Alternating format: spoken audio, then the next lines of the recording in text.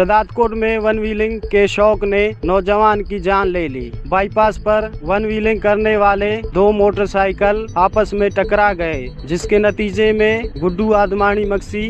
बाग हुआ है दूसरा सख्त जख्मी हुआ है जख्मी